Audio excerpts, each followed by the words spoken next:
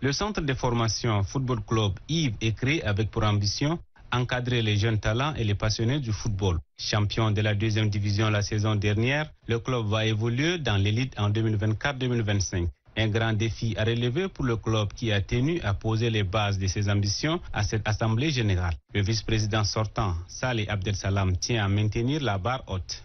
Avec une large perspective et des ambitions grandissantes, nous nous engageons d'ores et déjà à fournir plus d'efforts avec l'abnégation des membres du bureau ainsi que le staff technique et nos joueurs pour gravir les échelons qui nous attendent.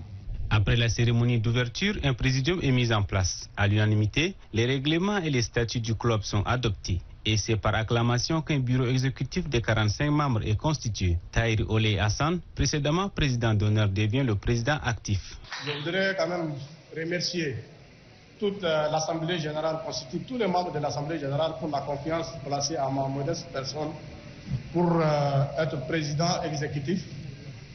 Et saluer tous les bureaux avec moi, vous dire que cette confiance ne sera pas trahie.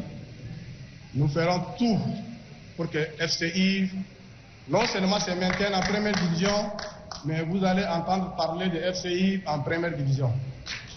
Le club ambitionne rester longtemps en première division et aller loin en compétition interclub africain. Et pour une ambition de cette nature, il faut des moyens conséquents et à la portée de l'objectif visé. Ainsi, l'ancien sélectionneur de Saou, Mohamed Alamine Abaka, est nommé entraîneur du club. Le centre de formation Yves Football Club est né depuis 1998. Il va faire ses premiers pas dans la Ligue professionnelle de football.